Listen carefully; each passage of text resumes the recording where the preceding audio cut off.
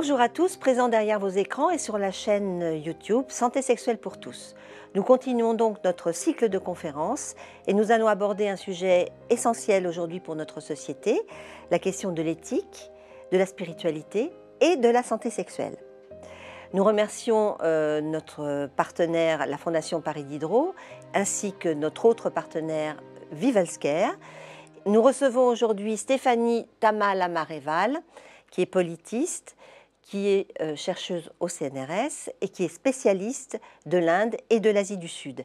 Elle sera interviewée par David Simard, philosophe.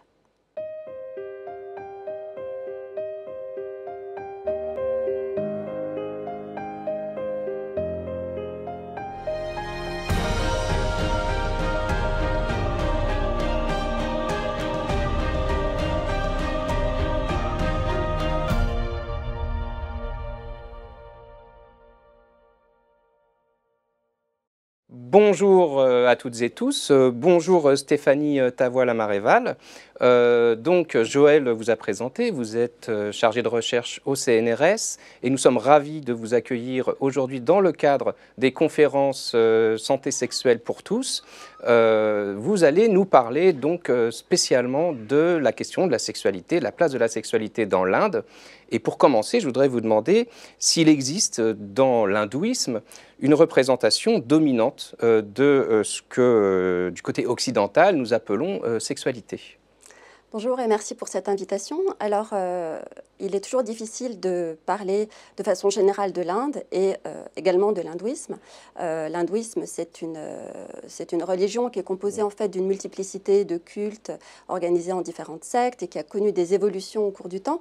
Mais disons que les textes sanscrits euh, nous informe effectivement sur des représentations euh, centrales euh, mmh. de la sexualité. Et ce sont donc les sanskritistes qui nous donnent accès à ces textes. Et je précise cela parce qu'il faut bien avoir en tête que ce dont on parle, ça se rapporte donc à l'hindouisme brahmanique, qui est l'hindouisme ancien, qui, s'arrête à peu près au VIe siècle de notre ère, mmh. et que euh, il s'agit, ce qu'on en sait en fait, euh, est constitué par des textes qui étaient écrits par une toute petite élite, celle des brahmanes, à destination d'une toute petite élite euh, mmh. également. Bon, ceci étant posé, dans cet hindouisme ancien, disons, il y a effectivement une centralité de la symbolique sexuelle dans la cosmologie hindoue. C'est-à-dire que la reproduction est au centre du monde et que euh, la, vie sexuelle euh, des dieux euh, occupe une place très, très importante. Mais il faut tout de suite préciser que cette sexualité, même si elle est parfois exubérante et, et, même assez extraordinaire, est surtout une sexualité conjugale. L'exemple souvent le plus connu étant celui du dieu de, de, la sexualité entre le dieu Shiva et, et, la déesse son épouse Parvati. Mmh. Euh, et que par ailleurs, euh, il y a une certaine valorisation de l'abstinence dans, euh, dans l'hindouisme traditionnel, disons, dans la mesure où prévaut l'idée que le sperme est une, comment dire, que l'éjaculation est une dépense d'énergie, mm. que le sexe est une énergie qui est précieuse mais qui ne doit pas être gaspillée. Et donc, on a d'un côté une absence totale d'anathème sur le sexe, une, véritable légitimité euh, et centralité du sexe. Et On pense au Kama Sutra notamment. Euh.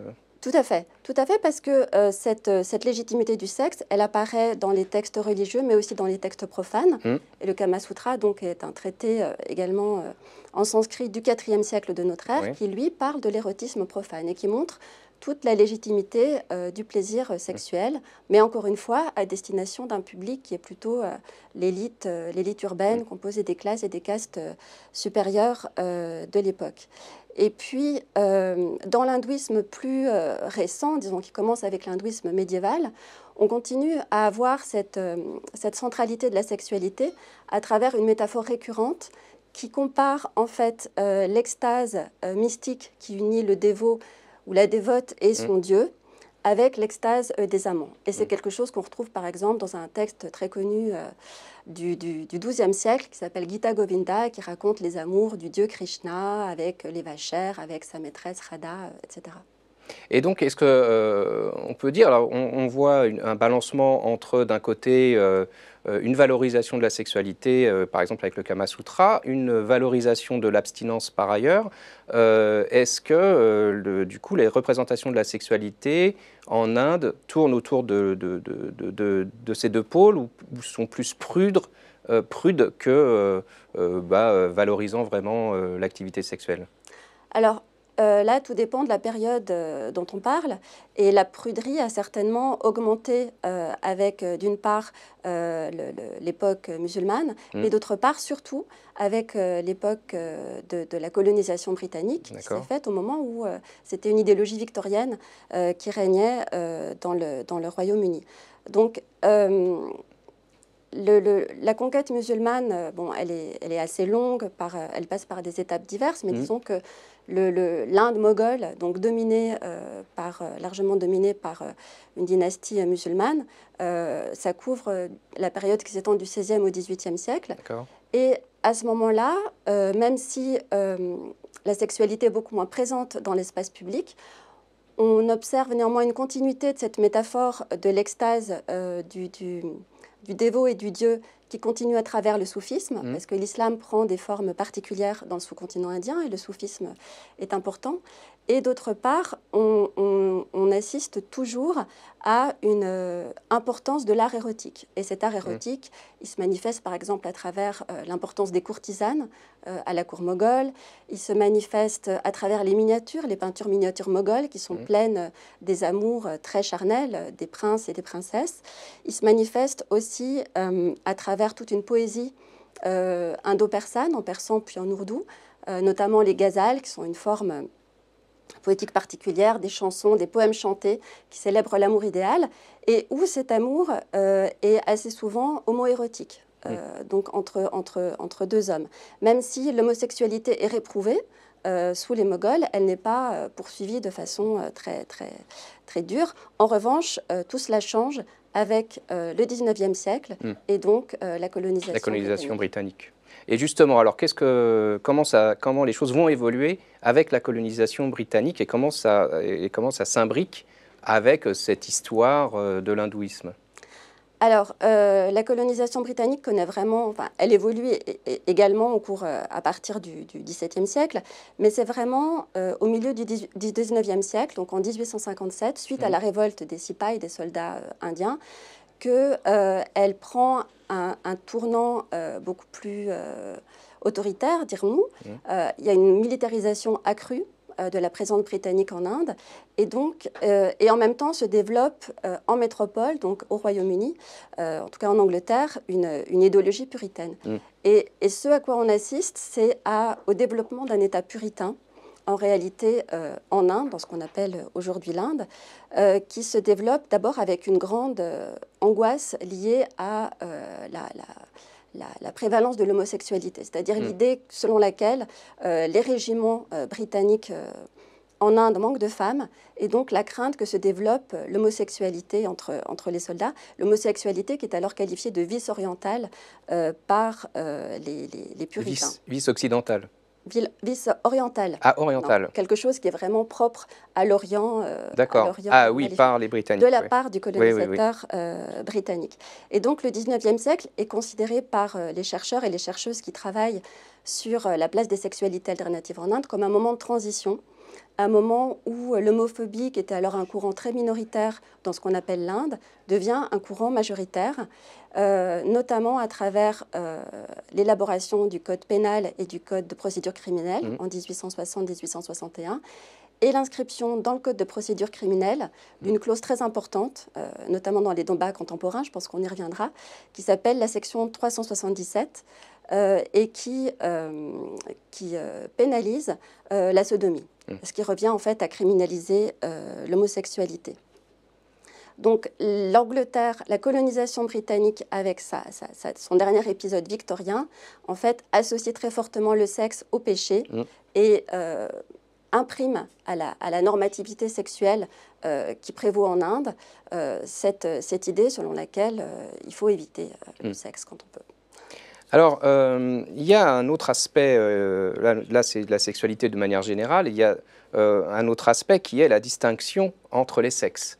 et dans quelle mesure, justement, les, distinctions de genre interviennent dans les représentations des conduites sexuelles en Inde? Et est-ce qu'elles sont directement ces représentations issues de l'hindouisme et de ou euh, est-ce que c'est issu aussi de l'influence de l'islam, de l'influence de euh, la colonisation euh, britannique? Alors il y a Bien sûr, la, religion est une, une, source centrale de, normes sociales et la religion dominante mm. en Inde, c'est l'hindouisme. donc, les, on peut dire que les, les normes traditionnelles qui, qui euh, disent ce que doit être le comportement des hommes et des femmes, notamment en matière de sexualité, émanent essentiellement euh, de la religion hindoue, même si ce n'est pas la seule source, et j'y viendrai plus tard. Mais euh, ce qui reste de la, de la, religion hindoue et qui a été en fait conforté par l'idéologie victorienne, c'est l'idée que la femme est un être hyper sexualisé mmh. et, et, dont l'énergie sexuelle doit être contrôlée cette énergie doit s'exprimer si possible euh, dans le cadre euh, conjugal. Mm. Et donc le mariage, c'est vraiment l'institution centrale de la vie indienne et le destin des femmes. Euh, donc il y a une valorisation de la virginité des femmes. Le, mariage est traditionnellement conçu dans l'hindouisme comme un don de la Vierge, un don de la fille vierge qui confère au père qui la donne à son futur mari des bénéfices spirituels. Et euh, après le mariage, en revanche, la fécondité, la fertilité des femmes est extrêmement valorisée, surtout si euh, la femme donne naissance euh, à un garçon, ce qui se, ce qui se retrouve aujourd'hui avec la pratique de l'avortement sélectif mm. qui, fait, qui fait des ravages en Inde. L'avortement, donc en fonction du sexe de l'enfant attendu. C'est ça, c'est-à-dire que les techniques de, de, de comment dire, d'échographie euh, permettent désormais mm. d'identifier rapidement le sexe du fœtus et que en Inde euh, s'est développé euh, un avortement des, fœtus de sexe féminin puisque les familles préfèrent donner naissance à un garçon pour diverses raisons que je ne peux pas exposer ici. mais donc voilà, le rôle de la femme, c'est l'idéal féminin en quelque sorte, mm. c'est celui qu'on appelle de la pativrata, c'est-à-dire la femme qui fait vœu de mari celle qui se destine à euh, faire le bonheur euh, de son époux euh, et à s'occuper de ses enfants. Et la sexualité des hommes en Inde comme ailleurs, elle est beaucoup moins contrôlée que celle des femmes. même si on retrouve cette, cette valorisation de l'abstinence mmh. sexuelle qui, qui, a été revalorisée par Gandhi, qui était très préoccupé de cette question, qui est reprise, idée qui est reprise aussi par les nationalistes hindous, Mm. Par exemple, euh, récemment, euh, euh, enfin, quand les, quand les, nationalistes hindous sont arrivés au pouvoir pour la première fois au milieu des années 1990, ils ont voulu remplacer la contraception par une recommandation de l'abstinence sexuelle. Mm. Ça n'a pas marché très longtemps. Et il y a aussi cette peur de l'impuissance. Du côté de la sexualité masculine, il y a cette, cette, cette grande peur des hommes de l'impuissance qui, qui, qui, explique la prolifération des cliniques du sexe mm. dans, dans, les villes indiennes un peu partout. Alors, euh, justement, en restant sur, sur la différence entre euh, les hommes et les femmes, euh, qu'en est-il du coup de l'égalité entre les sexes dans l'Inde contemporaine et également des droits des minorités sexuelles alors l'égalité des sexes, c'est la, grande, la grande cause du mouvement indien des femmes. Hein. L'Inde connaît un, un, activisme féminin, féministe très, très vivace. Euh, depuis le mouvement de réforme socio-religieuse, c'est-à-dire bien avant l'indépendance, mmh. et la constitution indienne qui a été proclamée, euh, promulguée en 1950, est une constitution extrêmement progressiste, y compris sur le plan euh, de l'égalité homme-femme. Mais le mouvement des femmes s'est remobilisé dans les années 70, en Inde comme dans beaucoup de pays, parce qu'il il a été constaté que les violences contre les femmes étaient très nombreuses. Et donc c'est d'abord contre les violences sexuelles que le mouvement s'est reformé contre le viol domestique, contre le viol dans l'espace public, contre les viols dans les commissariats de police. Euh, et, donc, ce qui s'est passé, euh, c'est que l'activisme, cet activisme féministe, en fait, c'est vraiment concentré sur le sexe comme violence, le sexe mm. comme danger, au détriment d'une autre vision possible du sexe, comme euh, plaisir, désir. Pour, cela pour plusieurs raisons. il y a d'une part le fait que les femmes indiennes sont en but à de nombreux problèmes et que les féministes considèrent que le plaisir sexuel n'est pas la priorité. Mm. Et donc, ce sont plutôt des thèmes comme la violence, le travail, la santé des femmes qui, qui, sont la priorité du mouvement indien des femmes. D'autre part, il y a cette montée du nationalisme hindou, euh, avec d'abord le Bharatiya Janata Party, le BJP, qui est le parti mmh. actuellement au pouvoir, euh, qui, euh, qui, est, qui, est, une menace pour les féministes indiennes, parce que la droite nationaliste hindoue les accuse régulièrement, en fait, d'être illégitimes dans la défense des droits des femmes indiennes, de n'être pas des indiennes authentiques, d'être en fait des marionnettes au service de l'Occident, et mettre l'accent sur les questions sexuelles euh, vis-à-vis d'une droite hindoue qui considère que l'homosexualité, la libération sexuelle, c'est quelque chose de, mauvais et d'intrinsèquement occidental, eh bien, ce serait problématique euh, euh, pour la légitimité des féministes. Et puis, une troisième raison qui tient au fait qu'au sein même du mouvement indien des femmes, il y a des divisions. Mmh. sur des questions centrales pour la sexualité. D'abord la question de la prostitution. Mmh. Certaines voient la prostitution comme un, un mal, euh, une violence qu'il faut simplement éradiquer, abolir. Euh, d'autres la voient plutôt comme un travail qu'il faut réguler pour protéger les travailleuses. Et puis sur la question de la représentation médiatique des femmes, une partie des, féministes considérant qu'il faut euh, censurer certaines représentations avilissantes des femmes, d'autres considérant au contraire que ce qui prime, c'est la liberté d'expression. On retrouve du coup aussi des oppositions, y compris au sein du courant, des courants féministes qu'on trouve ailleurs, euh, également, euh, également en Europe, euh, aux États-Unis. sur cette question justement des violences, il y avait eu une mobilisation en 2012 de mémoire, justement suite à un viol qui avait été particulièrement horrible. et il y avait eu une forte mobilisation des populations euh, pour dénoncer euh, ces violences euh, sexuelles. Qu'est-ce que, qu'est-ce que ça indiquait de l'évolution de la société indienne et où on en est aujourd'hui?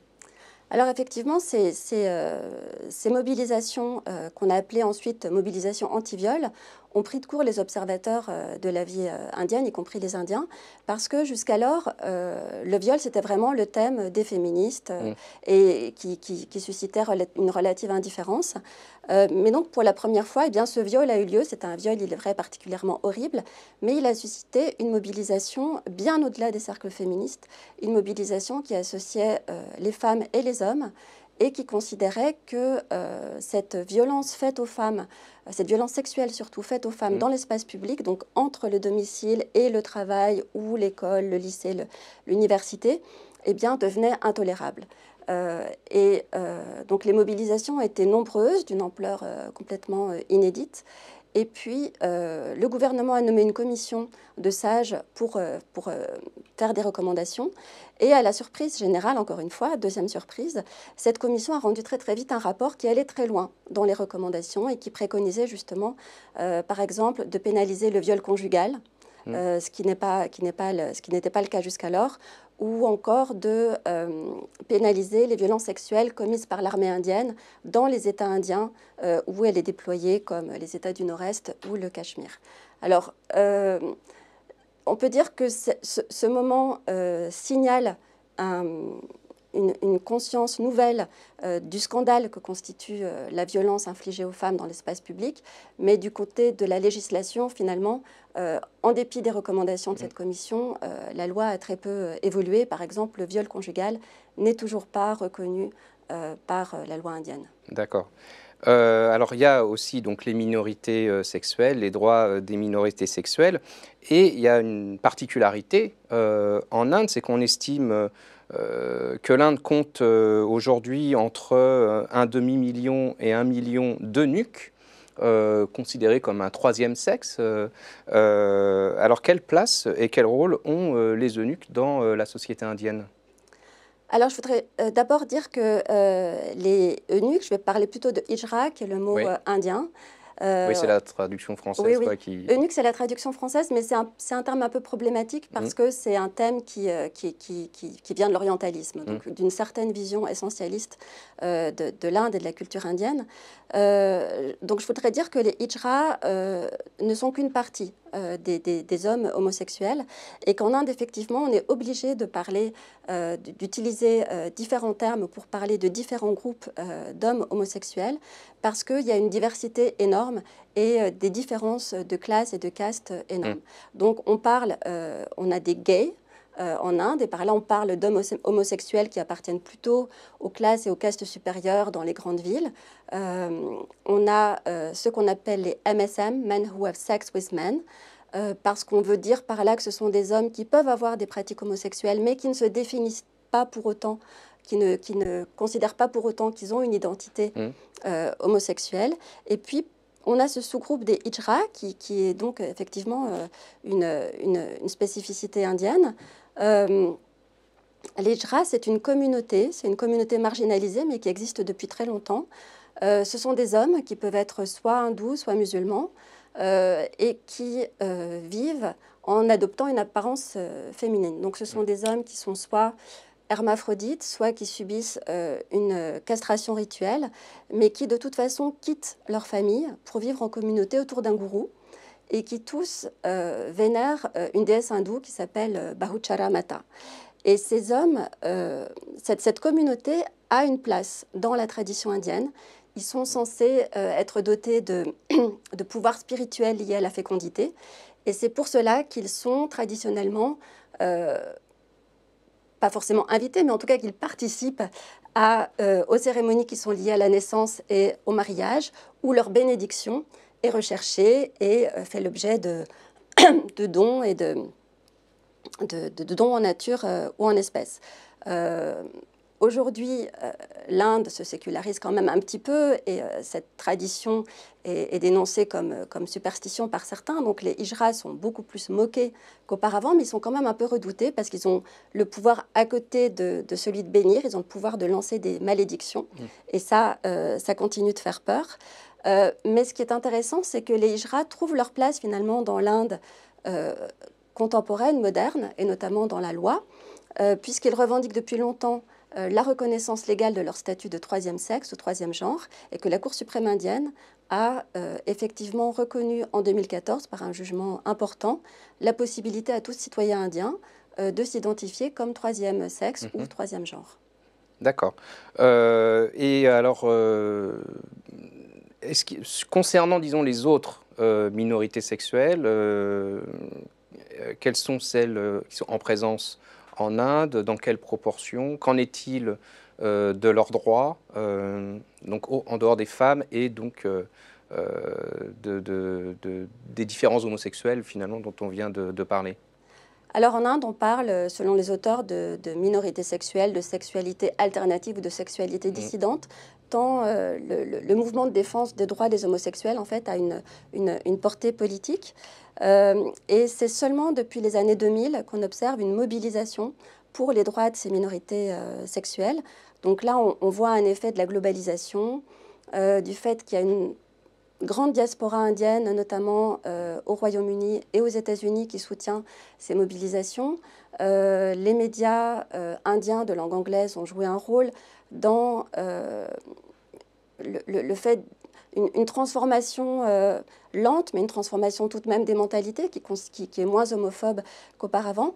Et euh, surtout à partir des années 2000, se sont formées des coalitions en fait entre le mouvement féministe, le mouvement de défense des droits des minorités sexuelles et puis les, les, associations de défense des droits de l'homme pour revendiquer notamment l'abolition de la section 377 dont je vous parlais tout à hmm. l'heure, qui criminalise euh, l'homosexualité et qui euh, autorise en fait la police notamment à euh, harceler véritablement les, les, hommes, en particulier les hommes homosexuels.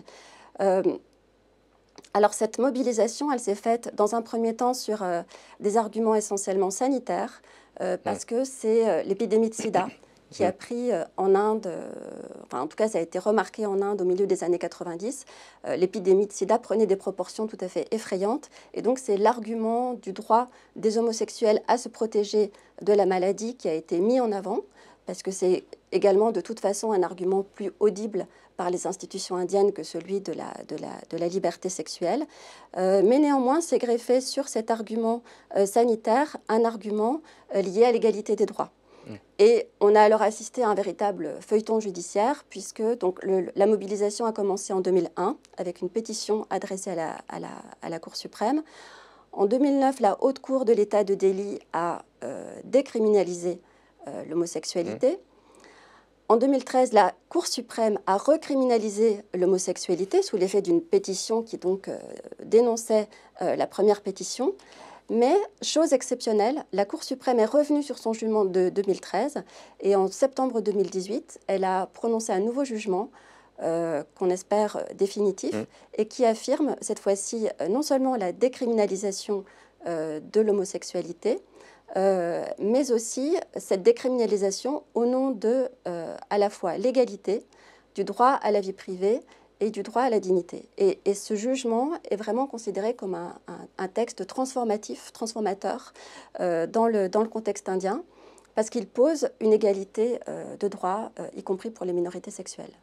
Alors on voit justement qu'il y a eu une articulation entre le fait d'aborder les questions de sexualité par l'angle de la santé, avec la question du VIH, et puis le fait de aussi pouvoir revendiquer des droits euh, bah, des droits humains. Euh, donc en fait, comment se traduit la prise en charge euh, de la dimension sexuelle dans les politiques publiques de l'Inde? J'ai l'impression que c'est quand même assez orienté sur des questions de santé publique qui servent de levier finalement à la revendication de droits. Tout à fait. Euh, la santé, c'est vraiment euh, un argument très important euh, pour l'État indien. Le contrôle de la population aussi. Mmh. Donc, l'État indien est un État malthusien. La, la, grande population de l'Inde est considérée depuis l'indépendance quasiment comme une des causes de la, de la persistance de la pauvreté en Inde. Et donc, la loi reconnaît dès 1971 euh, le droit euh, à l'avortement et à la contraception. Mais c'est vraiment, encore une fois, dans les arguments, on voit que c'est vraiment pour lutter contre la surpopulation, pour des raisons à la fois euh, sanitaires et démographiques, plus que pour les droits des femmes, le droit des femmes à disposer de leur, de leur propre corps.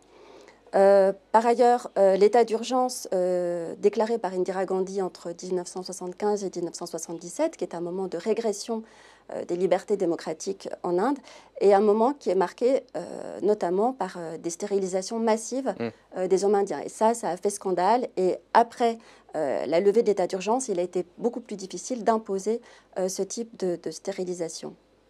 Mais en termes de politique publique, on peut dire que l'État indien est malthusien et reste puritain en grande mesure. Euh, j'en veux pour preuve, par exemple, le fait que euh, la censure continue de s'exercer euh, sur les films, sur la télévision également, mhm. sur la représentation de la sexualité. Et puis, et ça c'est quelque chose qui est vraiment lié à la montée de la droite nationaliste hindoue sur la scène politique, il y a une police des mœurs qui se, mhm. qui se développe, qui est le fait soit de la police, soit de milices autoproclamées de contrôle de la moralité, qui, par exemple, se charge d'attaquer les couples d'amoureux pendant la Saint-Valentin, la Saint-Valentin étant encore une fois dénoncée comme un mal venu euh, de l'Occident qui, corrompt euh, les mœurs des jeunes Indiens. Et puis plus récemment, on a vu l'État indien euh, s'efforcer de, d'interdire la pornographie. Alors la, production et la circulation de la mmh. pornographie sont déjà illégales en Inde, mais sa consommation ne l'est pas. Et les Indiens sont les troisièmes, apparemment, euh, les troisièmes plus grands consommateurs de pornographie en ligne dans le monde, après les États-Unis et le Royaume-Uni. Et en 2015 et encore en 2018, euh, l'État indien a demandé aux fournisseurs d'accès sur Internet d'interdire l'accès à une liste de quelques 800 sites euh, considérant, considérés comme des sites pornographiques, faisant offense à la moralité et à la décence. Et à chaque fois, euh, car l'Inde est quand même une démocratie euh, qui fonctionne, euh, à chaque fois, ces injonctions de l'État se heurtent à une mobilisation des défenseurs de, la, de, la, liberté d'expression. Et enfin, la dernière chose peut-être qu'on peut dire sur ces politiques publiques en matière de sexualité, c'est que l'État indien prend lentement conscience de la nécessité d'assurer une éducation sexuelle à l'école, notamment auprès des adolescents, et depuis 2005, des, circulaires ont émané euh, du ministère de l'Éducation prônant euh, l'exécution d'un programme d'éducation Mm. à la santé, on appelle ça la santé reproductive et sexuelle à Mm. destination des adolescents, mais les résistances sont énormes et en fait beaucoup des États, parce que l'Inde est un État fédéré, et beaucoup d'États indiens euh, ont refusé de, de mettre en œuvre ce programme. Alors, euh, c'est un grave problème, hein, puisque les, les- les mariages euh, arrivent à un âge précoce en Inde. Et la dernière politique euh, de l'éducation euh, en date, euh, qui a été élaborée par le ministère indien de l'Éducation en 2016, prévoit de nouveau une composante d'éducation sexuelle, mais on ne peut pas du tout à ce jour Mm. savoir ce qu'il en est de sa, de sa qui- mise ce en qui œuvre. va en advenir.